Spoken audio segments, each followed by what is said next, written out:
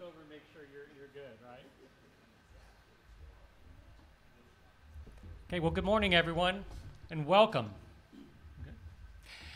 My name is Rob Osolinsky, and uh, on behalf of uh, Gibson as well as Bailey Brothers, we appreciate you all coming out this morning. Uh, really excited to have a great day talking about Gibson Acoustic with everyone. Um, fortunately for you, I'm not the one that's going to be doing all the talking because uh, all the way from Bozeman, Montana, I'm really pleased to introduce uh, Don Ruffatto. Many of you know Don uh, and have uh, met him before, but he's the senior product specialist for Gibson, Montana, again, coming from, from Bozeman. And, and I would add to his job description, he's the overall Goodwill Worldwide Ambassador uh, for Gibson Acoustic. So he does a great job. He's brought some special guitars just for this event today.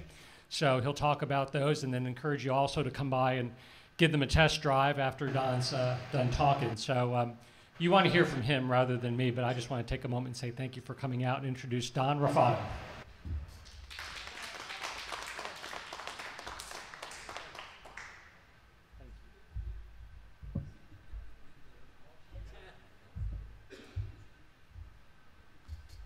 All right. Well, thanks again. Thank you, Rob, and thank all of you for coming down this morning. Some of you I've met before. Some of you have heard my little spiel before, but we're going to talk about some new things that are going on too. I'd like to thank all my friends and you too, Danny, for coming down today.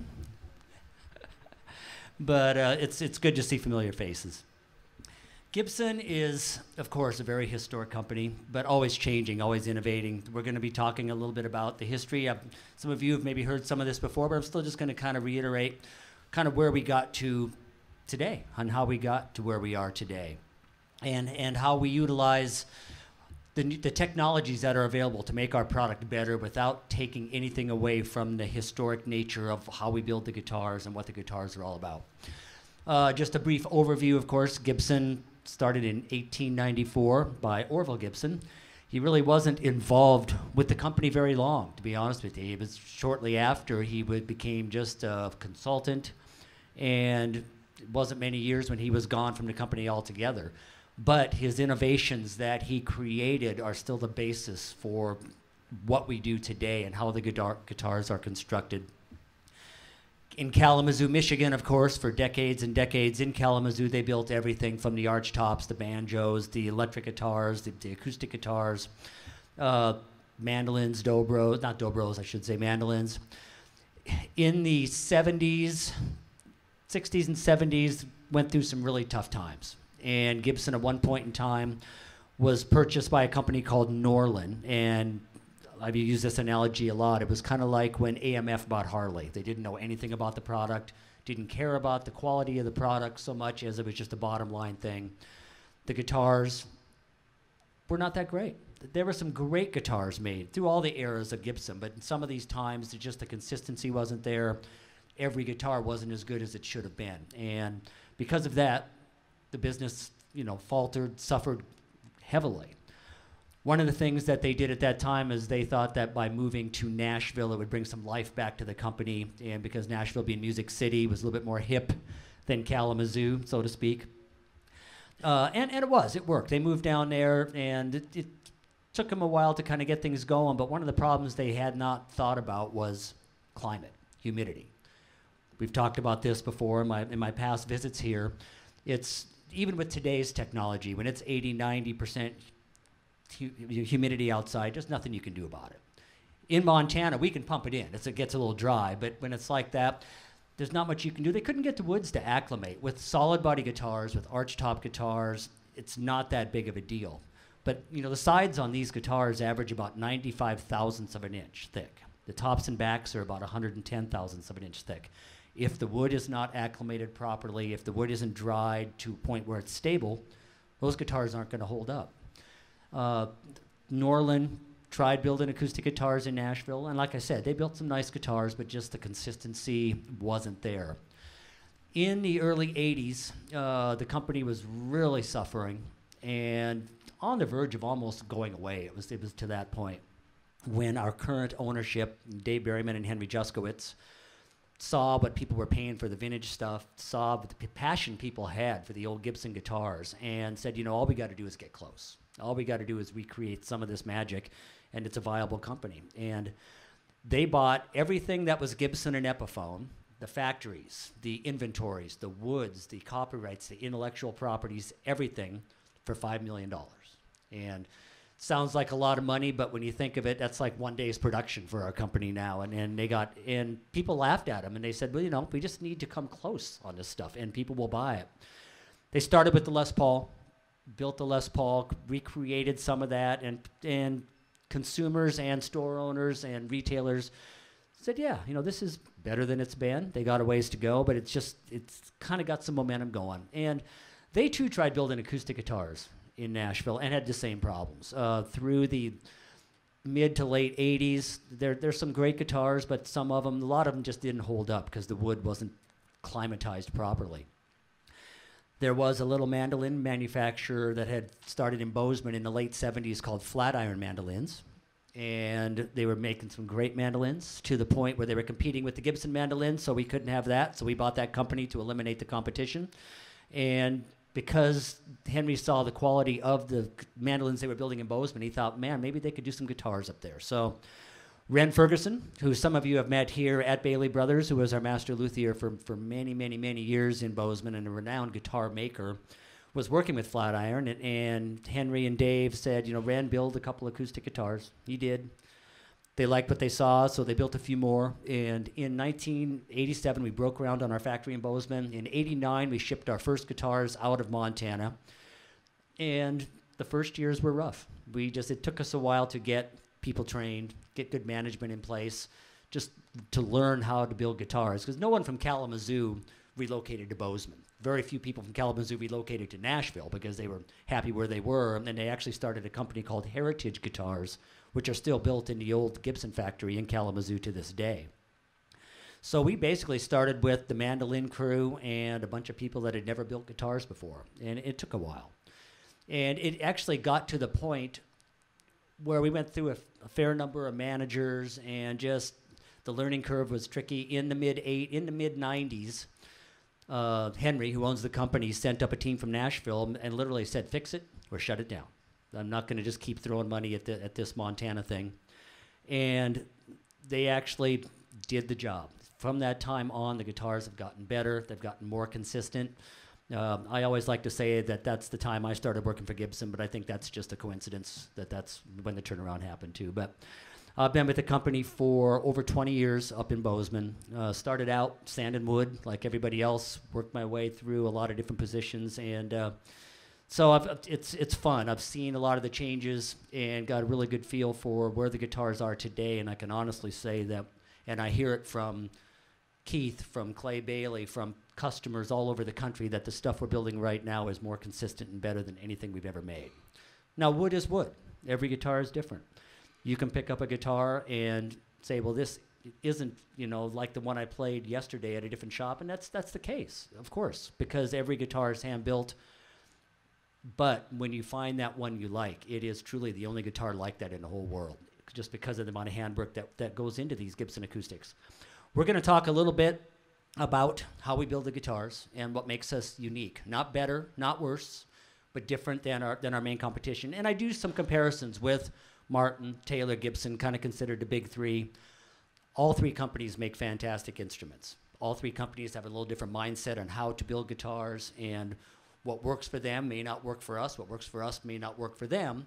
But we feel that the way we build guitars works best to get to that historic sound, that historic feel, and to stay true to our roots and build the guitars the way they've always been built.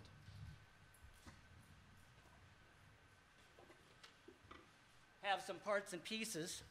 The one thing that's really cool about the Gibson acoustic line as compared to a lot of our competition is you can start with our J15, which is our, our, lowest price guitar, all the way through some of our custom high end limited edition pieces.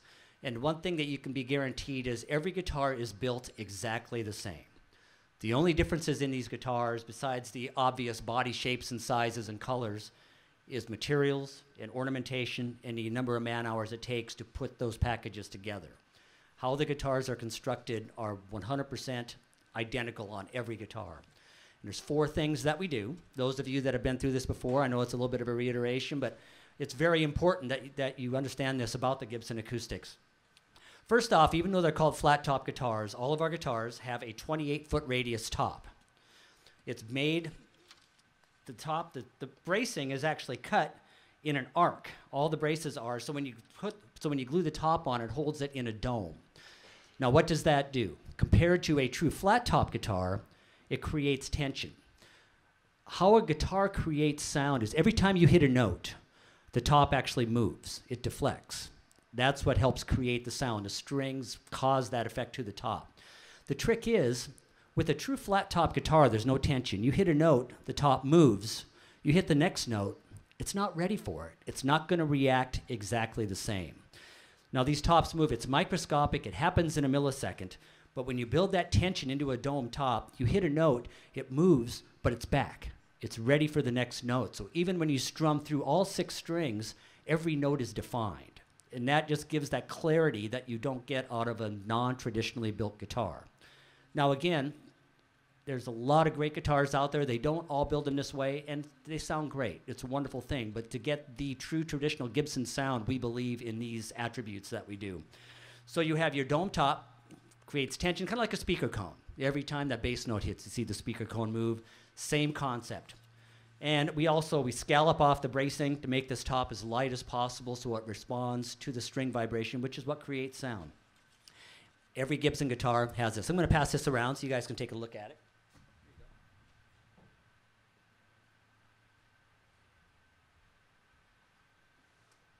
One of the questions I get asked a lot when I'm traveling is, why can your competition, uh, basically across the board, why can they put guitars out on the market at those lower price points. Why can Martin and Taylor, I'm going to use those just as examples as the big three, why can they have an $800 guitar on the wall and Gibson doesn't? Well, a lot of it is because we don't want to compromise the way we build guitars just to get to a price point. One of the things that has been developed over the years to allow guitars to be built more efficiently is a bolt-on neck. It's a wonderful thing. You can bolt the neck on, you can take it off, shim it, sand it, do what you need to do to make that guitar's playability as perfect as possible. No one doubts the consistency of, of a Taylor's playability. Everyone you pick up plays great. That bolt-on neck, you can just get it set exactly where you want it to be. The downside, I mean, there's not much wood to the body of a guitar. When you can take the neck and make it a part of the instrument that's creating sound, instead of just an attachment to it that's holding the strings, that's what gives a traditionally built Gibson, a traditionally built Martin, that roundness of tone, that historic sound that you don't get out of a modern built guitar. We use a dovetail neck joint on every guitar we make. It's the highest learning curve job in the entire factory because these guys that, that do this, and there's only a few people that we allow to do this job, they put that neck on and look down and go, okay, it looks like this now, but what's going to happen with 200 pounds of string tension? Because it's going to move and they have to be able to visualize where it is now versus where it's going to be once it's strung up because this guitar has to go through the entire finish process before we know if it's done right. So they have to be right a pretty high percentage of the time or we're not going to be around very long. We take it one step further. On every neck joint, we use what's called hide glue. Before there were wood glues, before there were super glues, they used a, a, a hot horse hide glue, which is basically horse hide that's been it's granulated. When you heat it back up, it turns into this gooey, sticky mess. But that's what was used to make the old mandolins, the old violins before there were modern glues. It transfers vibration better than any other adhesive. It crystallizes, gets super hard. When you strum a traditionally built guitar with the neck, with a dovetail neck joint and hide glue, you can feel the vibration up here. You don't get that out of a non-traditionally built guitar. You've got a lot of wood working for you here that you don't have otherwise. The dovetail neck joint is something that, again, it's it's difficult to do, but we just really feel that it's that important that we hope we never have to change that part of the building process. You got your dome top, you got your hot hide glue dovetail neck joint. Another way that builders have found to more economically build acoustic guitars and all guitars is something that's been developed over the past couple decades. It's UV poly finishes. It's a wonderful thing. You spray the UV poly finish on the guitar, you put it under a UV light, and literally five minutes later, it's hard as glass, looks wonderful, and it's, it's, it's a great thing. But it will never change. It will never mature. It will. It's it's almost like a plexiglass coating on the guitar, and there's nothing wrong with that. But there's a reason why the old Gibsons, the old Martins, the old Guilds, the old Epiphones sound the way they do. It's not just because they're old, it's because they were built in a manner that they could get better and better with time. And that is the lacquer. The nitrocellulose lacquer we use, it's literally getting thinner and thinner for decades. It's dissipating into the atmosphere, it's getting absorbed into the wood. As that happens, the guitar is allowed to breathe, allowed be, to be freed up, to vibrate you can't build 40 years into a guitar. You can only 40, 50 years. You can only build the guitar in a manner that it can become that vintage guitar. And the biggest part about that is the lacquer. Again, we're not the only people that still use nitro lacquer, but we are the only major manufacturer that uses it on every guitar we make. So that's three things that we do across the board. The dome top, dovetail neck joint with hide glue, nitro lacquer. The most important thing is these guitars are, are truly handmade still to this day. We do more handwork than any other major manufacturer. Every neck is hand sanded to its final shape. Every piece of wood is hand sanded to final thickness, hand assembled. We use uh, CNCs to rough cut the necks, but once it gets beyond that, every part is hand assembled. Every burst is hand sprayed. It's amazing. The sunburst you see in there, if you look, and even up here on stage, they're all a little bit different. That's just because you have people doing this. It's not robotics. The lacquer is all put on by hand. It's no, again, the, our competition uses robotic sprayers, robotic buffers, hand sprayed, hand buffed, hand colored. Every guitar is a little bit different. Some people say, well, they're not consistent. We like to just say, no, every guitar has its own personality. When you find that guitar you like, it's the only guitar like that in the whole world. And so if you get one of those in your hands that you say, wow, this is really cool, don't let it get away because if someone else buys it, you will never find a guitar like that again if it says Gibson on the peg head. You know, and we really take pride in that handwork and in that individuality of each instrument.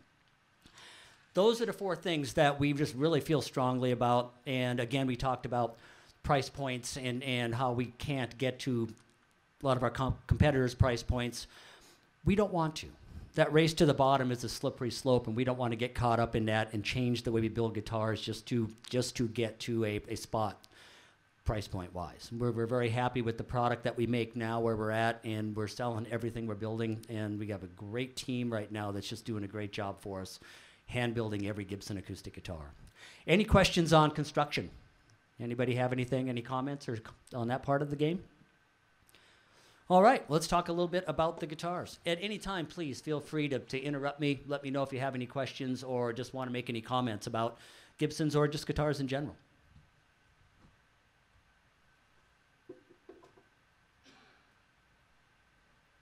Back in the day, pretty much back in into the 20s, all instruments were small. Basically, mandolins were the instruments that everyone played.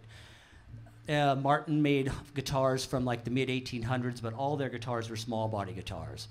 Gibson's first guitars that were flat that were built in this style came out in the mid 20s. Small body guitars, L1s, L00s, that type of thing. It was a it was a new thing for us, but people just kind of went crazy over it. It changed the way people thought about guitars, the way people thought about Gibson. To this day, we make quite a variety of small body guitars, great fingerstyle guitars, great blues guitars. This is a limited edition Adirondack Red Spruce L00. We only made 65 of these for worldwide distribution. Uh, one thing I love about Bailey Brothers, they love getting the cool stuff, and they always do. Right, Danny? Danny has a few himself. Linda has a bunch too, so. But it's just a wonderful, the nice thing about the small body Gibsons that are made historically, they just have a warmth and a roundness of tone that you don't get out of a lot of small body guitars. A lot of small body guitars can be tighter, a little bit crisper, but this is like just a wonderful tonality.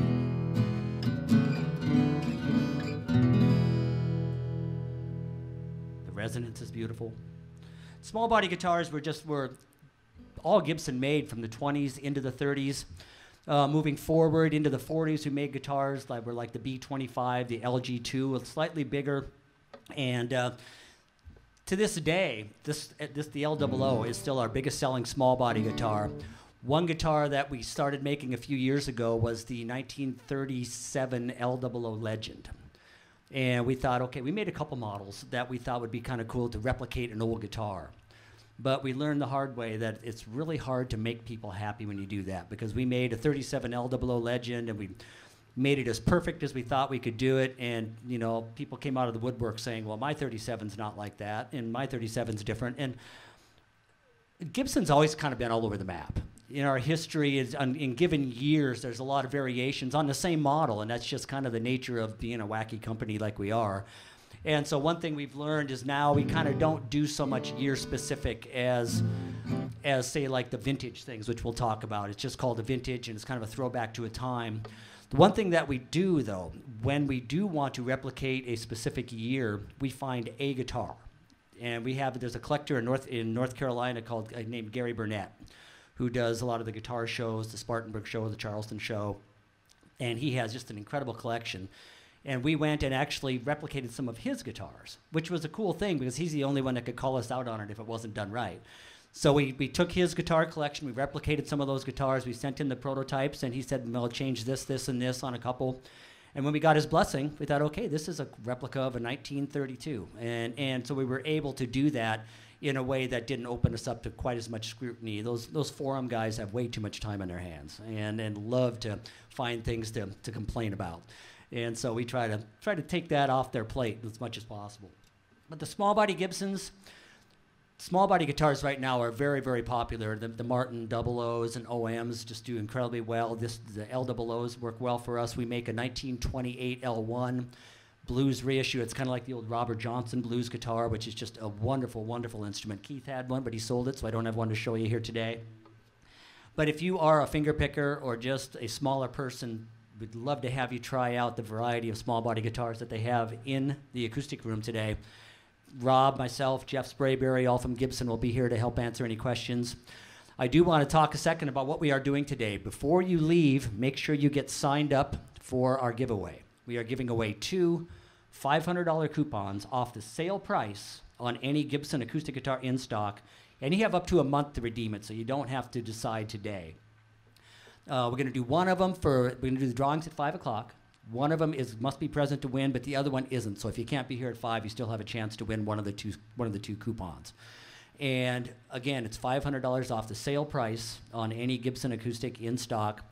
It's a chance to get a great guitar at the best price you'll, you'll ever get. So just make sure you, you get signed up for that before you head out today. If you don't think that you are in the market to use it, respectfully, maybe just let the sign up be for people that will, but we hope everyone would sign up and take advantage of it because, again, it's, it's the best price you will ever get on one of our guitars. So in the 20s and 30s, you had this size, early 30s, you had small body guitars. In 1934,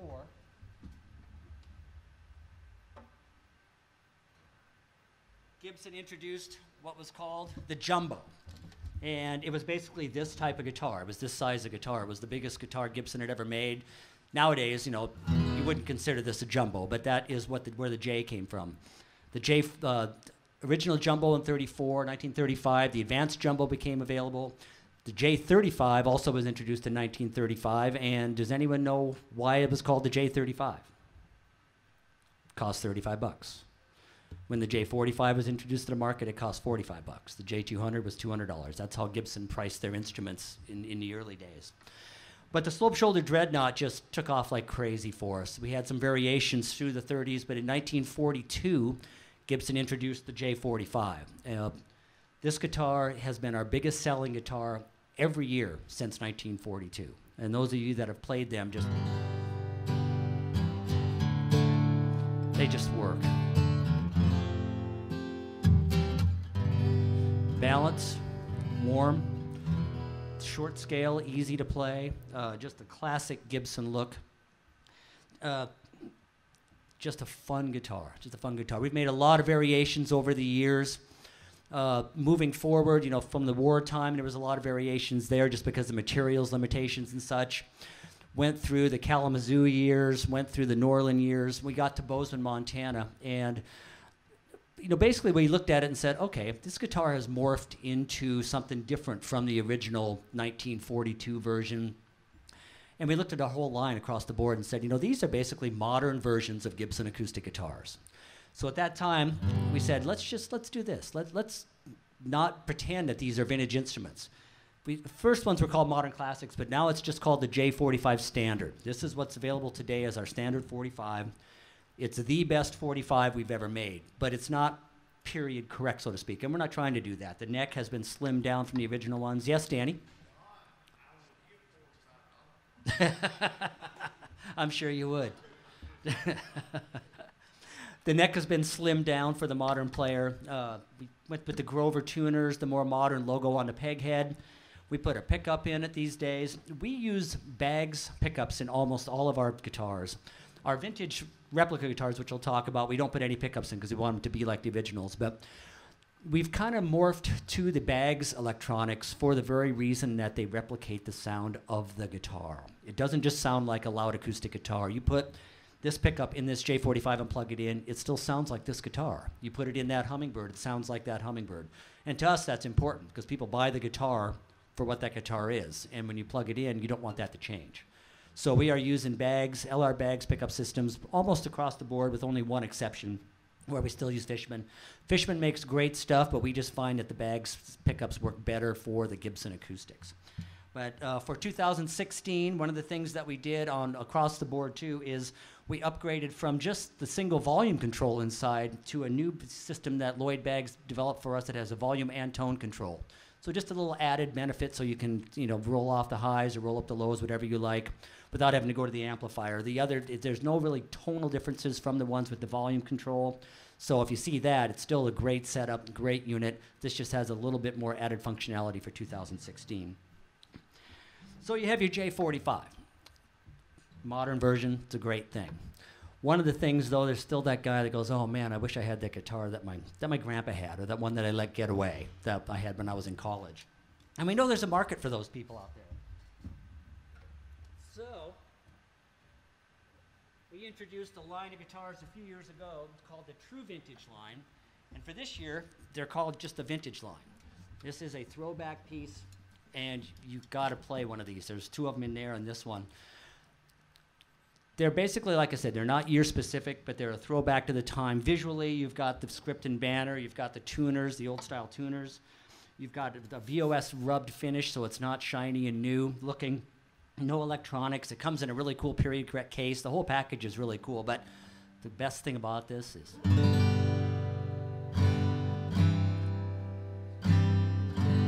Isn't that just wonderful? Now, one of the things that we did this year, other other manufacturers for a while have been utilizing a technology called torification. Does anyone know what that is? Torrefied tops. A few people out there. One thing that's always been a mystery is why do the old guitars sound the way they do? What changed? What what makes them different? And technology over the past decade has allowed them to study the old pieces of wood to a cellular level and see what is different between an old piece of wood and a new piece of wood. Okay, so now they've, they've identified the visual differences and the you know at a, at a cellular level what is different about it. How can we get there quicker? They came up with a process called torification that expedites that. It takes the wood, and different companies do it different ways. We are utilizing the University of Minnesota in Duluth, who's been doing wood research for, for decades up there in the north woods of Minnesota and they've been doing some some work on this and we basically hired them to do our research and they are now actually torrefying the tops on our vintage guitars it's put in a a kiln per se but it has to be a kiln in, in a vacuum because it heats the wood to like well over 200 degrees and if there's any oxygen it'll just burst into flame so it has to be in a vacuum it draws all the moisture out just makes it light makes it just stiffer and the sound is just It sounds like an old guitar. And before you leave, you got to pick this up. It is just featherweight. It's amazing what it does. So we are utilizing the thermally aging technology in our vintage line, and we're doing four guitars that have this in it now. We, we do the 45 standard and we do the 45 vintage. The same with the Hummingbird. We do a standard version and a, and a vintage version, an L00 and an L1, two small body guitars. So if you have the opportunity, again, we're not the first people to do this. Uh, Martin, Taylor, Yamaha, Bourgeois, they've been doing it. We're kind of the last people to the party, but we kind of wanted to in some ways, I guess, learn from their mistakes, learn from their uh, research, and, and just take it to the next level. And we think our guitars, it really fits in well, just because of the historic nature of our guitars. And then you add this dynamic to it, makes it sound like an old Gibson, and it's a really wonderful thing. So I hope you take the opportunity to try it. We get into the 60s, and Gibson introduces the Hummingbird, 1960. It's kind of a folky thing, kind of a love and peace kind of guitar. Has that look. What amazes me is literally since 1960 when this guitar was, was, was introduced to the market, other than the J45, this has been our second biggest selling guitar. You know, it's got a pretty unique look. The pick guard, the color, it's, it's, you know, you would think that that would limit the market to this guitar, but it's amazing, and it's just because it works. I was final inspector at the Gibson Acoustic Factory for almost two and a half years, and during that time, I literally played pretty much every Gibson guitar made during that time period. And every day, at that time, we were doing like 50 guitars a day, and I'd just tune up the guitar when it came to me, and I'd strum and hit a chord, and it was amazing how often on any given day my favorite guitar was a hummingbird. I know a lot of that's personal preference, but they just the reason that they're successful and the reason that we haven't changed them is just this combination of what we call a square shoulder dreadnought, which is almost more like a little bit more of a Martin type body style. It's a short scale like a 45, the woods, the mahogany, the spruce. It's just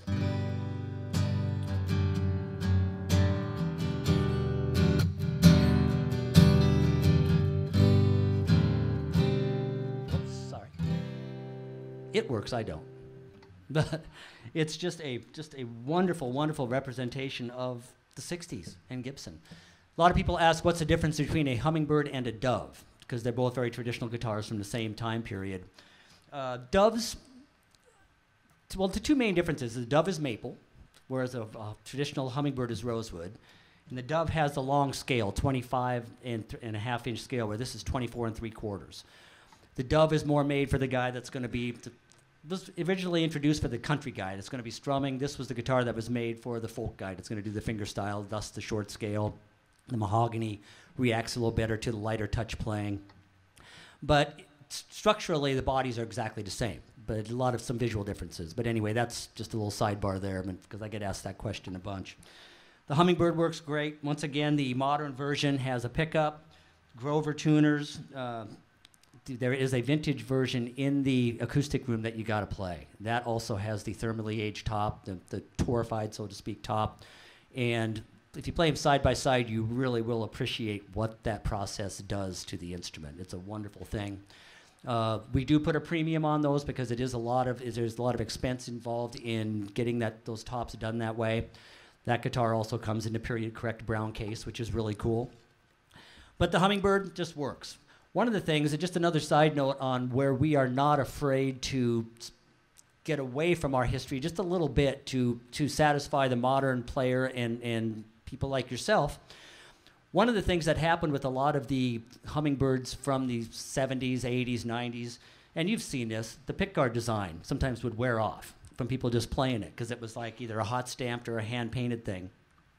So we thought, okay, this is the modern version of this guitar. Let's make everything a little better. We found a company that created a pickguard that actually has a 60,000 sheet of clear over the design. So from three feet away, it looks just like the original, but it's impervious. It will never wear off. So that's just the kind of things that we always look to use technology that's available to make things a little better. Yes, ma'am. I got confused. Was either the dove or the hummingbird um, rosewood? No, no. We have done variations, of course. We, you know, over the years, we've pretty much tried everything at least once, and we've done limited runs of, of doves and hummingbirds in rosewood. But as part of the product main product line, no. Don't know why. Uh, we've done rosewood. We did a guitar called the J60 a few years back, and that was a square shoulder rosewood guitar, and it really just didn't catch on. I think that it was maybe too much. It was we made it to kind of go after that Martin D28 guy, and those guys are going to buy Martin D28s. You know, so there's no sense in, in going after a client base that isn't yours. You know, we have a hummingbird, they don't. They have a D28, we don't. So we just kind of stick with your strengths, so to speak. So we've kind of stayed away from the rosewood s- square shoulder guitar for that very reason. going to take a step even back in time now, 1937. All the guitars were small. We had just introduced what we called the jumbo, the dreadnoughts, but still, there wasn't anything, a big guitar out there. There was this cowboy singer named Ray Whitley, who was at that time as famous as Gene Autry, Roy Rogers, all those guys. And he was famous. He performed at Grand Ole Opry, performed all over the country. And he came to Gibson with a problem. He says, You know, he goes, We have one microphone on the stage. I've got background singers, I've got a full band. No one can hear my guitar. I need a big guitar. So Gibson dug around, and at that point in time, they were making big arch tops in Nashville. And so they took one of the arch top molds, which is 17 inches, and created the J200 for Ray Whitley. And he just loved the guitar. And the story goes that he's, you know, those guys always dressed up fancy outfits. He said, and I want it to be flashy. I want it to be as flashy as my jacket, so to speak. And that's what the quote is anyway. And so Gibson introduced the J200. It was the biggest guitar ever made to that point, and it's still just known as kind of our our mainstay, the most probably the most visual, along with the Hummingbird, of course. But when you see this, you know it's a Gibson. You know it's a J200, and started off as kind of a country guitar, but the rockers just loved it. Through the 60s and 70s, Pete Townshend, George Harrison, Bob Dylan, they've all used J200s because you can just, the thing about a guitar this big, and especially when it's made out of maple, which is very dense, with a guitar like a 45 or any other any other standard size acoustic guitar, you hit it so hard they just kind of start compressing. They'll only get so loud because they can only push so much air. But the thing about this guitar, harder you hit it, the louder it goes, and it really doesn't break up. It doesn't change. It doesn't, you know, with it doesn't compress, so to speak.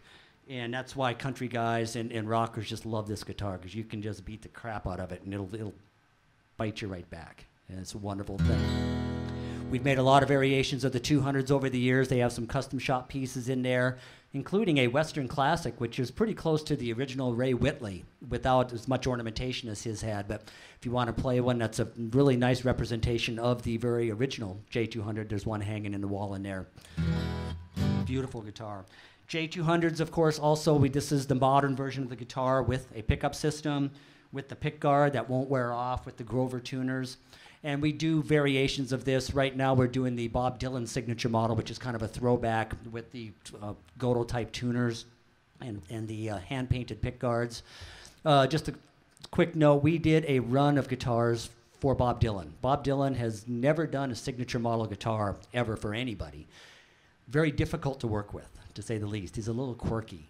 And um, it took us almost 10 years to get this done to get the contract signed, to get he wanted to design the guitars. The only reason that we even got it done was because we had one of our entertainment relations people that lived across the street from his personal manager and was good friends. Uh, the, Martin worked with him for almost a decade and walked away because he just was impossible, and he still is. But the funny thing is, we, we made 175 signed ones, and we, those sold out in a day and a half. And they were at a street price of 10 grand and they're just beautiful guitars. So the crazy thing is, we sent Bob 175 labels to sign for the inside of the guitar, and he signed 175 labels in pencil and sent them back to us. So it was just we looked at that and went, oh, geez. So we had we spray sealed them. We weren't going to go back to the well and say, can you redo these in pen? But uh, so we sealed them and, and shipped them out. And did you have, have any of those here, Keith? Did you ever get one?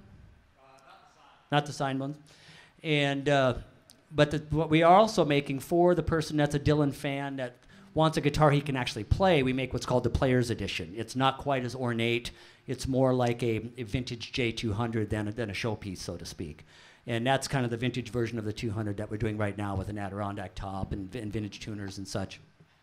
But the Dylan project, it's, uh, it, it was quite an adventure. We learned a lot from that.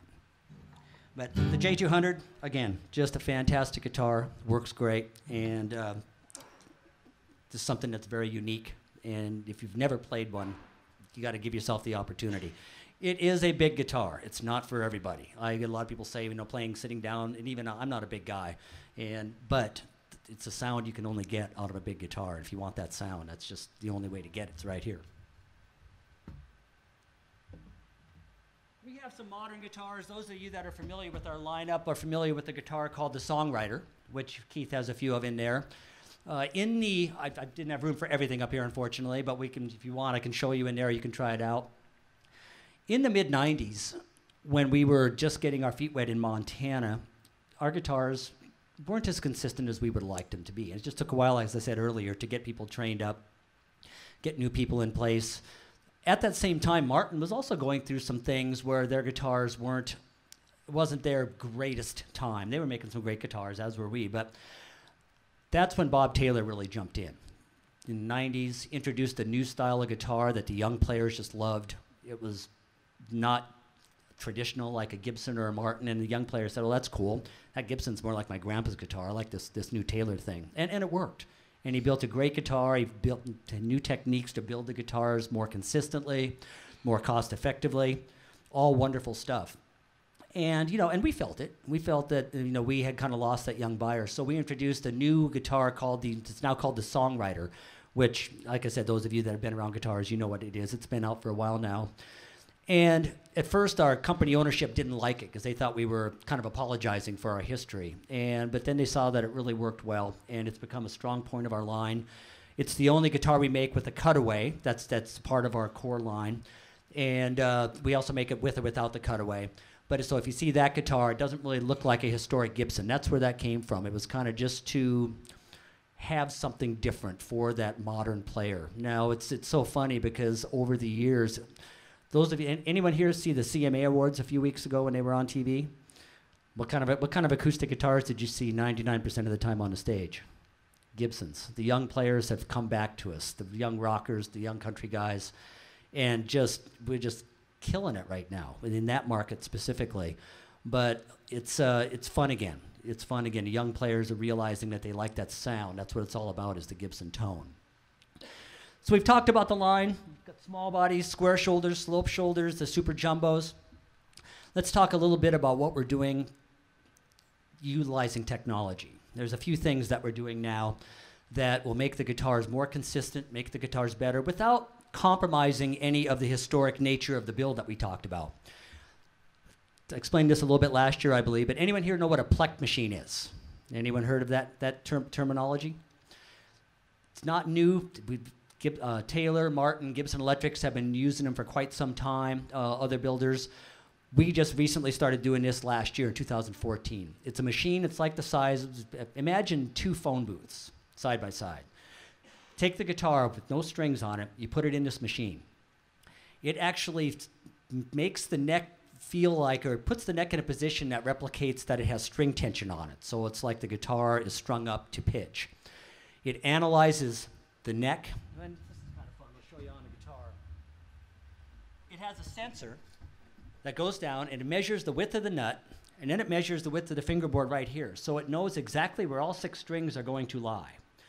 Then it takes and it bounces under where every string is going to be over every fret, and it senses if a fret is a thousandth of an inch higher than the one before it, a thousandth of an inch lower, goes back in and levels out all the frets, recrowns them, polishes them. Then it goes and slots the nut to the right height off the first fret, so that playability up there is, is perfect every time. It cuts the saddle to the right height, does not dilute any of the hand built factor of the guitar. It just makes the playability as consistent as possible. So when we send a guitar to Bailey Brothers, they can take it out of the box, put it on the wall, and know it's going to work.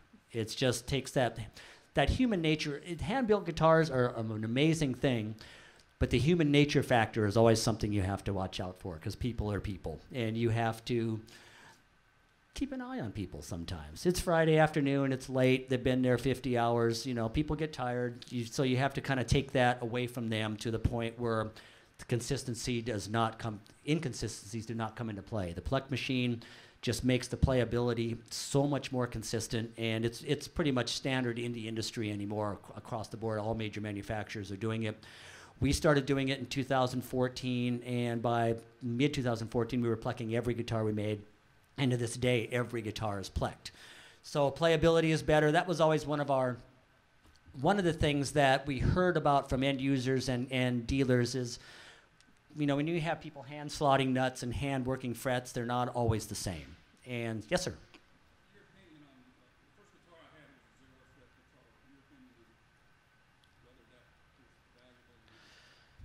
No, do you mean has an extra fret here or the? the reason, the, the tonal reasoning that some people like to have, and he, what he's asking about is some people, instead of the nut, actually have a fret right there, and then it arcs over the nut beyond that first fret. So you don't actually play above it, but it's a metal fret just like these in that first position. The reasoning that people sometimes think that that is a, an advantage is when you strum a guitar open, or when you play an, like, say a G chord, you have some strings that are going over metal, some strings that are going over plastic, the open strings or bone. When you have that zero fret nut, even the open strings are being affected by metal, by a fret. So in some people's minds, it gives a little bit more consistency between the fretted strings and the open strings tonally.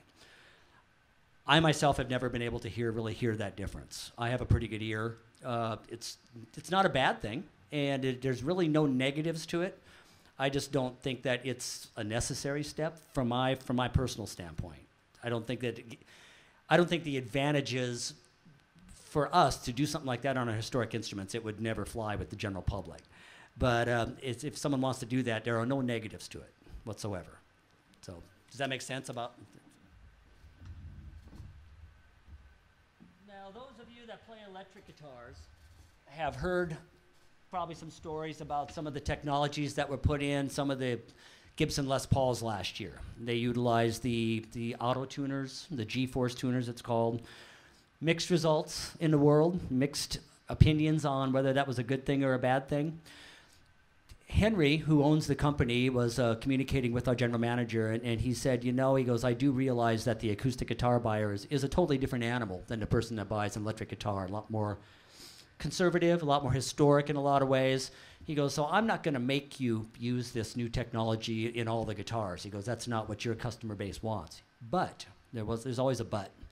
He said, There are people out there that do appreciate and can use this technology someone that plays in a lot of multiple tunings on a given night if they use you know go from standard tuning to open g to DADGAD you know and, and they don't want to have to bring five guitars to the gig or spend half the night tuning.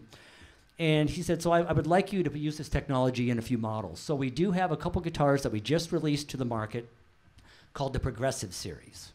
And they do utilize that technology. They do have the g-force auto tuners on them which work really well. No matter what you read in the forums and people that are traditional Gibson people don't, in some cases, don't like them because they're not what they remember. They're not the traditional thing, but they work really well. You hit a button and bam, you're an open G. You hit a button, you're an open D, and it just works. So we utilize that. Yes, go ahead. Is it, is it a robot tuning thing on the keys, or is it a? It's a robot. Each tuning machine has a servo motor in it, and it actually has a sensor, kind of like a like a snark tuner that you plug on to hook onto the peg head. Each tuner has like that built into it, so it senses the vibration for that string, and you just strum through it, and, and all six strings tune up. Much much better. Number one, the intonation is is so much better. Number two, they're lighter. Number three, you can manually tune them yourself, and just they have a lot of functionality that, like when you're stringing it up, you hit hit the button twice and you hold it down and it, it winds it. You don't have to sit there and, and do this. So they've they've taken what we have heard from the from the field as people's concerns and what they didn't like about it and made it better. So the new generation G-Force tuners are the best ever, and they actually do work really well. We're not going to say that for everybody. We're not going to say that we're going to put them on 200s and 45s and, and force the technology on people, but the but they are out there, and it's a cool thing. And, and I'm sure eventually Keith will get one in here once we get start shipping more of them. And if you get the opportunity to check it out, it's a, it's a pretty cool thing. They're a little bit smaller. They're still, you know, a little bit bigger than the Grover body back. But Wes says he has. If you go, if you go out in the bus, he can she can show you some out there on, on a guitar out there. So, and and also before you leave, if you have not been in the bus, check it out. It's it's pretty cool. We, we love having having Wes. Thank you, Wes, for bringing the bus in from Nashville, so we get the chance to hang out. And so, but Gibson Acoustics, we've been, like I said, it's been a long road since 1894. The guitars have been built as guitars since the mid 20s. We feel right now we're building the best guitars we've ever made, and we're just going to keep building them. We love feedback. We love hearing from people like yourself what we can do to make it better. We're going to continue to make them historically. We're going to continue to stick to our guns. And, and as I said earlier, we hope we never have to compromise how we build the guitars. And as of right now, it's going so well for us, I don't think we will. We will be here all day. We have a full Gibson team here. If you have any questions, please don't hesitate. I'd love to have you come in and try out some guitars. Make sure you get signed up for the coupons. And uh, yes, Danny. Yeah. Oh, I forgot all about this one. I hired Danny to help me. Just a guitar that is kind of new to Gibson. Yeah. A few years ago, we were tasked by Henry, our owner, to delve into what were considered lower price points than, than we traditionally had been at. The J45 had always been kind of our, I'm, I'm, I'm going to use the term loosely, entry level guitar because we know they're still not inexpensive. But for us, that was always kind of like the starter model for a lot of people, kind of just a bare bones Gibson. We uh, did a guitar called the J35 for a couple years, and Keith has a couple in there that were just wonderful, wonderful guitars. I think they had a street price at that time of uh, $17.99, which for a handmade North American made guitar wasn't bad. Henry asked us, he said, beginning a little, uh, going into last year, he said, we need to do better. You need to find a way to make a guitar and do it profitably at $14.99 street price. So we looked at it and went, okay, how can we do this without compromising how we build these guitars? What are, what's, what are the most expensive parts of the guitars? Number one is materials. A lot of you are familiar with our history, with our situation with the federal government, and when they did the raids on the plants and, and confiscated the woods and such. And so these days, we take a lot of time and spend a lot of money verifying the sourcings of our woods, verifying the, the validity of the paperwork and everything else. And it's expensive to do that. And one of the ways that we were able to get this guitar onto the market without having to do all that was it's all North American tone woods. We thought if we use all woods from North America, we don't have to import the woods, we don't have to worry about the paperwork. So we started the J15. Walnut, back and sides, fingerboard and bridge. Walnut is, you know, acoustic guitars traditionally have been rosewood, maple, and mahogany, the big three. Probably 90, 90 plus percent of guitars made over the past 50 years were those three woods. But walnut is getting more and more popular. A lot of builders are using it. It's a very sustainable wood. The walnut trees in California, when they get so old, they quit bearing fruit. They just cut them down and replant. So it's a natural process um, of availability of the wood. They don't cut it down to build guitars. They cut it down t- as part of the agricultural process, and then the wood is available. So it's very uh, ecologically friendly. Spruce top from Alaska. Now the maple neck is something we normally put on just higher end guitars, like 200s, Doves, that type of thing. But again, we wanted it to be all North American wood, so we put a maple neck on this guitar, which is a wonderful upgrade for a guitar that comes in at $14.99 for a handmade North American made guitar. It's the best value on the acoustic guitar, North American acoustic guitar market today. And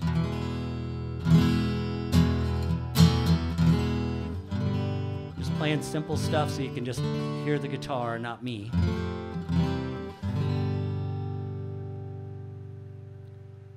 What I would ask is if you are in the market for an acoustic guitar and you have a budget that's maybe not quite to where you can go to somewhere some of these guitars are, at least give this one a shot. This is a guitar that at this price point, again, it's the best value on the acoustic guitar market today. Danny will attest to that.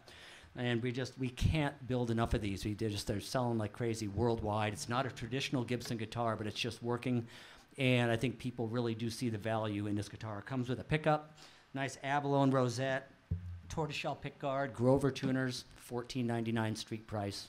Wonderful, wonderful value for for for a handmade guitar. Thank you, Danny, for reminding me of that.